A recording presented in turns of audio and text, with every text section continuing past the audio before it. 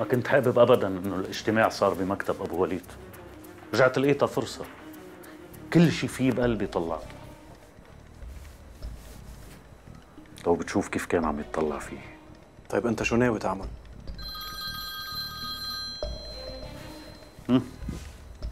يا علا. أهلين أستاذ علا. كيفك عائد أنور؟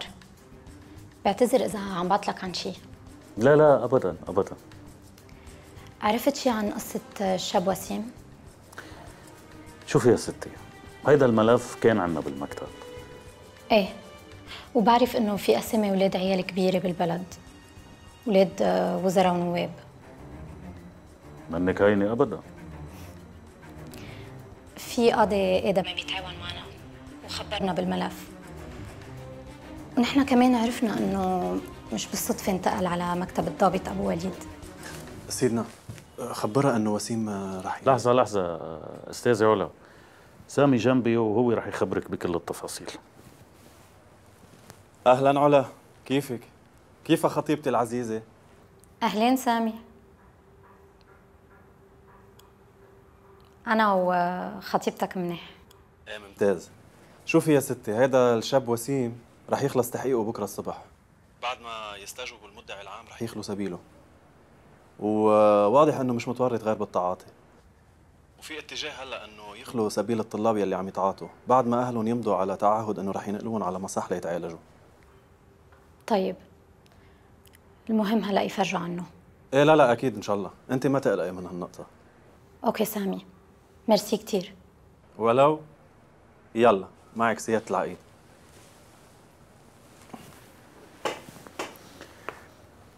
إيه يا أنسي علا طمنتي؟ إيه أكيد. وهلأ صار فيني طمن أهله.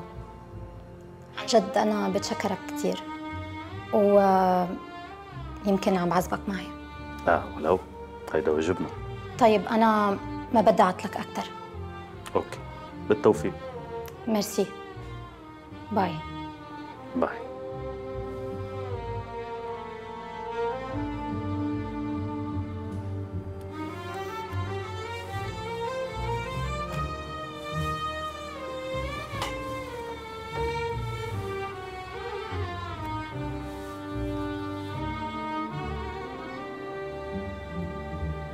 شو بك؟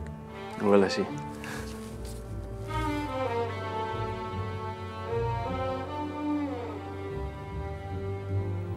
يا حصرت عليك يا وسيم. يا دلي يا دلي يا يا دلي أم وسيم. لا شربتي قهوة ولا بدك شاي ولا بدك نسكافيه.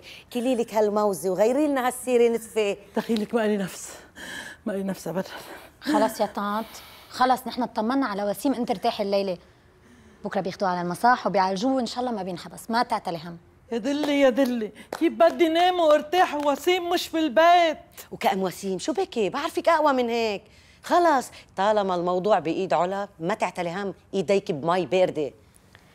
طيب يا جماعة أنا تعبت كثير وبدي أقوم نام بالإذن.